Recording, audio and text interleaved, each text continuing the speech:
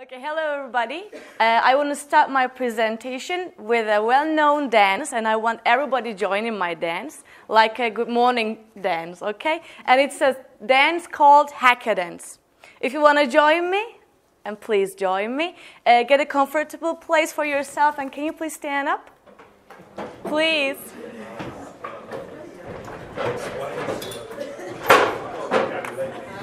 Okay. Um, because of time limitation, I want to make it so quick. Do what I do, say what I say. Okay, here we go. It's weird but fun. I use it in my classes. Okay. Who? I, I, eh. A chica, chica, chimba. A Chica, chica, chimba. A mushy, mushy, mushy. A mushy, mushy, mushy. Ia, ia, ia, ia, ia. Ia, ia, ia, ia, ia. Ay, ay, ay. A chica, chimba. Ah, A mushy, mushy, mushy. Ia, ia, ia, ia, ia. Who? Ay, ay, ay. Ai, ai, ai. A chica, chica, chimba. Chica, chica, chimba. A mushy, mushy, mushy. A mushy, mushy, mushy. Ia, ia, ia, ia, ia. Ia, ia, ia, ia, ia. You're perfect. Thank you. Clap yourself. Okay. This is a kind of energizer I use in my classes. And my name is Setenay Çelik, and I'm from Turkey. I have been teaching English for four years uh, to young learners. That's why you must always be energetic with them. And while I'm teaching, um, I came across with some difficulties and challenging with the young learners.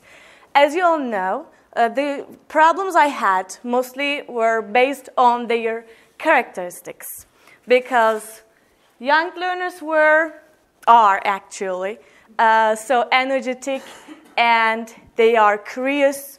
And these are some pictures uh, from my students as you can, as you all know, they are so energetic and crisp. But uh, one of the most important features they have was they are really like uh, imitating the teachers, their gestures and their speaking styles. But the thing made me search on this topic was that they learn very easily, but they can forget very quickly. And I'm teaching, I'm trying to teach vocabulary to them. One lesson, they're okay. When, when we come back, oh my God, they forget everything. So I said, what can I do? And the other one was that uh, they have a very short span of attention. They can try to do with other things. When you see someone there and then you turn back and come back, he's not there. Where is he? He's trying to find some more um, lovely things. That's why I need to, to be I needed to, I tried to get their attention more. And then I came across with the idea of brain.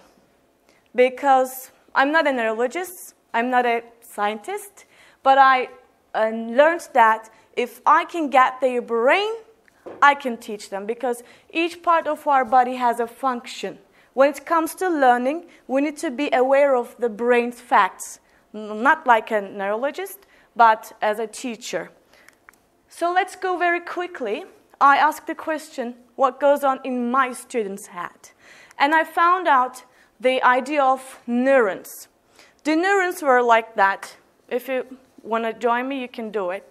Um, you can see your arm um, showing the neurons parts.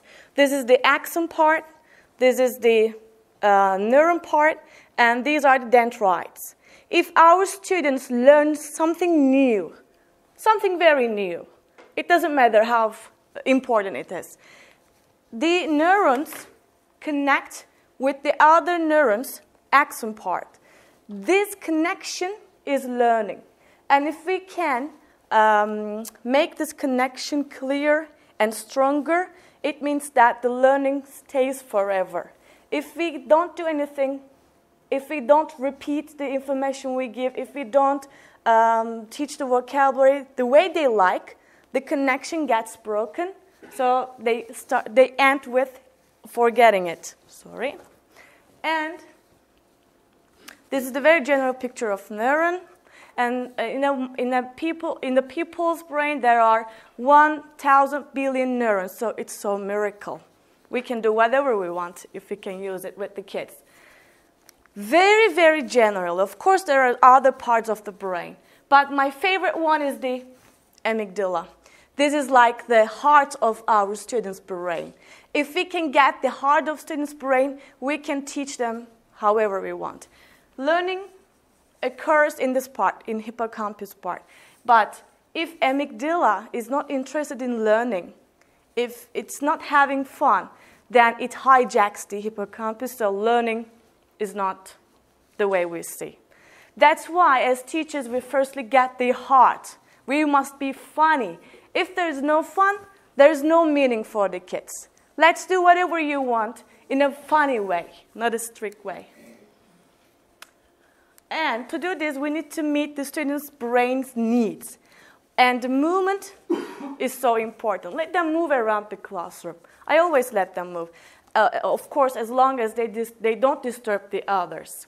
They move around. Whatever I do, I do with the physical things. They don't sit like that. We, okay, stand up and let's do an activity like this. Movement is the key. Vocabulary is the most important one for the young learners because they take the first step, like the bird in ELT talks. They take the first step to learn vocabulary because um, the, without vocabulary, they have struggle in uh, expressing their thoughts and ideas.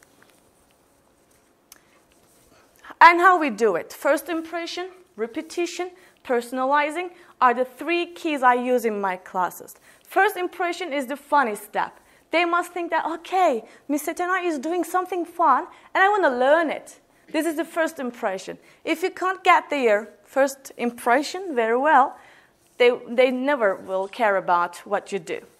Repetition, do whatever you want quickly and quickly and in other contexts and in different places at different times. Repeat it all the time, as long as you can do. Personalizing is so important because they put something from their heart to the thing they learn for the vocabulary. I want to show an example. Um, the thing I do in my classes with repetition and personalizing. Who wants to play a memory game with me? Here. Just to, to, to show what I do in my classes. Just one young learner I want. Nobody? Okay, thank you. Quickly. Okay, these are the pictures I use in my classes. You can come here. And I will show you the pictures. Uh, think that I taught them to you, to her, okay? There are some pictures, and at the back side, there are other pictures. I will show you the pictures one by one to you. I want you to remember what is the back side of, the pic- of each picture, okay? Sleepy, box, cold, door, thirsty, or we can say tired, tired, window, dizzy, dizzy, mirror, hungry, the picture, hot, scooter. Are you ready? Ready? Ready? Okay. What was the back side of it? Window. Clapper! Yeah. Cold.